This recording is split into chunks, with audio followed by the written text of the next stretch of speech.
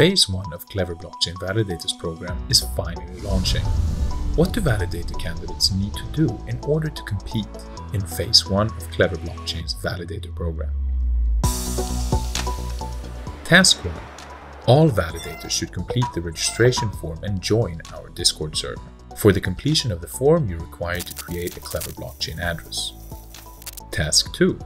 All validators will need to run a hardware that meets the following minimum requirements, although stronger hardware is always welcome. CPU with 4 cores, RAM with 8GB, SSD with 200GB, an internet connection speed of at least 100 mega, Linux or Mac OS.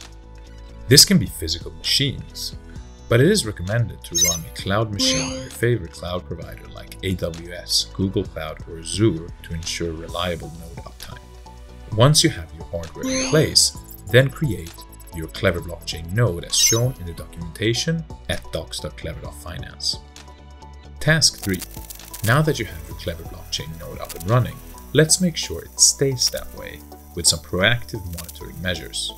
You're free to use any monitoring tool of your choice, but let's ensure it shows all the metrics you need. Task 4.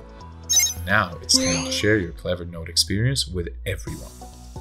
Complete a written blog post sharing this experience with the entire Klever community. Task 5. Nearly there. Now let's share your experience via Twitter. Simply remember to tag at klever underscore IO and add the hashtags Klever Chain and Klever Validators. We will release a form to collect all of the above information and provide a ranking that we'll share with the global Klever community which will allow the KLV community to get insights into the progress of our Validators program and the Validators' achievements. May the best node win.